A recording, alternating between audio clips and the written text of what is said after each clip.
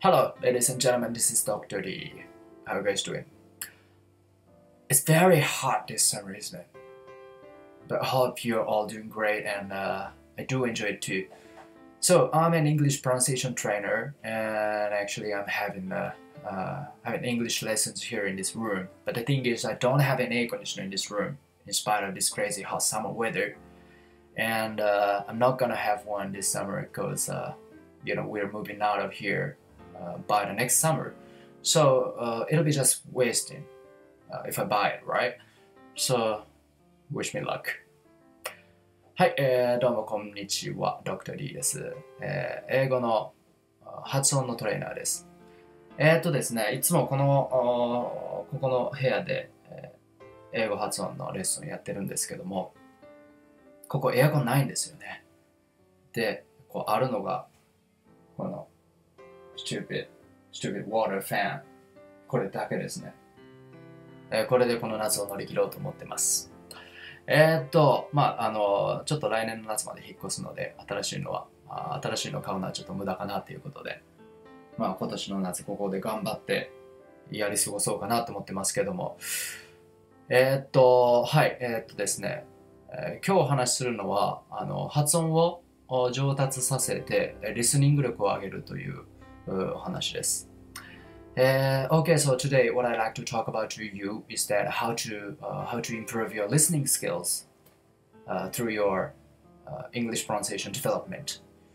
えっとですね、英語のフレーズが、あのどういう風な音とリズムで話されているかっていうことを知らずに、あの知識だけでリスニング力をこう上げていくっていうのは結構難しいと思うんですね。で、あのそういった意味で自分があのその英語の音やそのリズムで表現できるようになればあの自然にネイティブの話す英語も聞きやすくなると思います。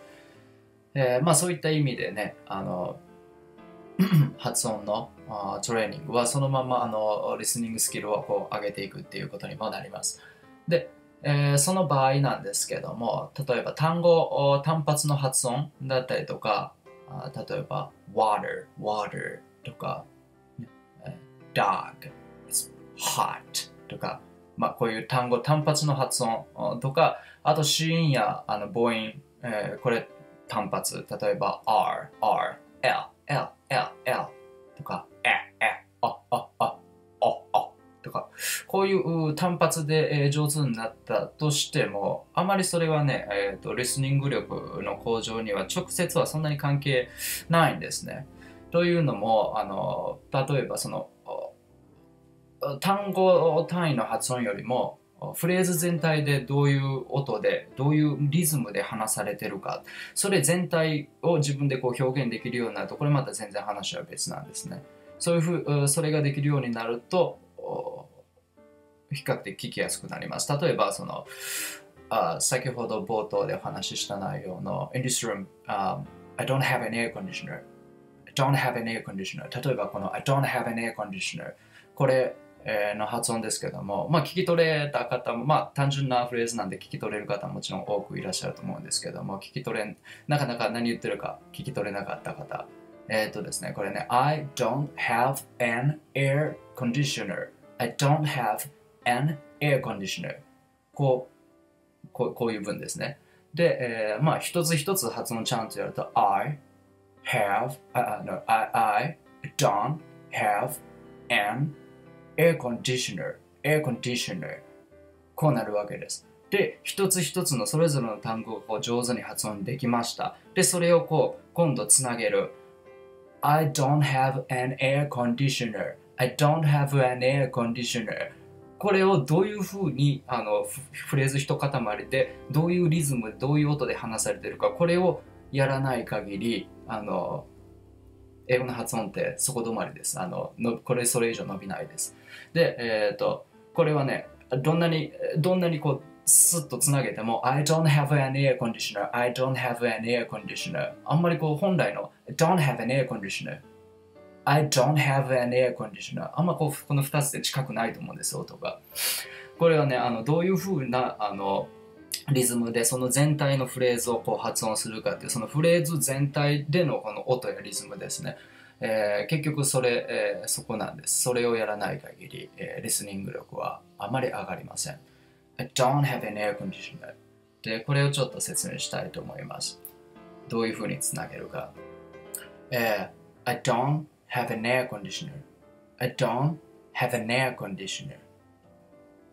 この an を含む文章なんですけども、これが結構特徴があってですね、あの普通だと an air conditioner, an air conditioner 別々で発音するとこういう風になっちゃうんですけども、えーこれをくっつけちゃうんですよね。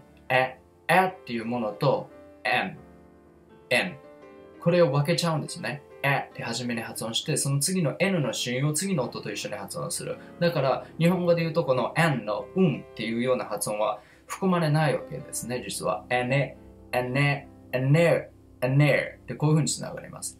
an air conditioner, an air conditioner, an air conditioner. I don't have an air conditioner. I don't have an air conditioner. こういう風なパターンになってきます。えーっと、この and とか、例えばもう、あとは unusual. This is very unusual, isn't it? Unusual.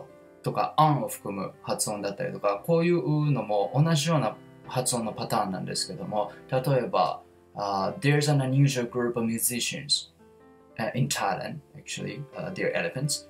えータイにそのエレファントが、えー象がその音楽を演奏する象がいるんですけども、very unusual group of musicians、えーこうこういう発音。There is an unusual group of musicians 単語、単語それぞれで発音するとこんな感じ。There is an unusual group of musicians で、これをそのまま There is an unusual group of musicians をつなげてもあまりこう、それらしくならないんですね。これも同じ、さっきと同じパターンです。There's, there's a, a there's a, a ここまで発音しといて、N をまた次につなげる。an, an, an, an unusual. There's an unusual. There's an unusual. An, unu, an unusual. An unusual. こういうふうにつつながってきます。There's an unusual group of musicians. There is an unusual group of musicians. こっからだとだいぶかけ離れたことになっちゃうと思うんですよね。で、この音を要するに知らないと、この音のパターンを知らないとなかなかやっぱり聞き取り難しいですよね。and, on, on なのか、普通の usual なのか、で、そこの聞き取りもできなくなる。でも、あ unusual, unusual, unusual こういう音になるわけです。on が入ると。で、さらにその前に n が入る。だから全体でやっぱり捉えなきゃいけない。一個一個聞いてても多分追っつかないししょうがない。There's an unusual group. There's an unusual group of musicians in Thailand. And もう一つ、えー an adult、uh, both children and adults love this group. 例えば、both children and adults love them. これいきましょうか。both, chi- both children and adults love them. Both children and adults love them.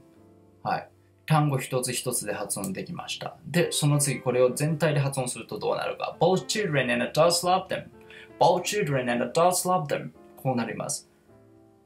どうですか聞き取れますか、えー Both children and, and adults ここの部分が and adults, and adults, and adults こういう音になるんです。and adults さっきの an air conditioner と似てますよね。同じようなパターンです。and adults. So both children and adults love them. Both children and adults love them. Both children and adults love them. Both children and adults love them. Both children and adults love them. Both children and adults love them. こういう風になっていきます。まあこういう感じで、えーまあ今日のポイントとして、そのフレーズ全体でどういう音でどういう風なリズムに組み込まれて発音しているのかっていうそれ全体を、えー自分の体の中に何回もこうそのやり方で発音してで取り込んでいくで結局そういうのの積み重ねがリスニング力のこう向上にもなってくるので、えーまあ、そういう方向でちょっと今後英語を捉えていただければなと思います。はいいくら L の発音、R の発音だけ上手になってもあまり意味がない。それよりももっと大事なのが全体、フレーズ全体であの英語がどういう音で表現されているかっていうそこです。はい。で、細かいところはある程度英語が話せるようになってからでも直していけるのでまあアナウンサーのトレーニングとかでも同じですよね。滑舌を良くするだとか、結局そういうとこになってくるので、それよりももっと大事なのは全体でどんな感じの音、どんな感じのリズムかっていうとこだと思います。はい。えー、それでは今日はこれで以上です。Okay, hope you guys had good time. So see you next time. Bye bye.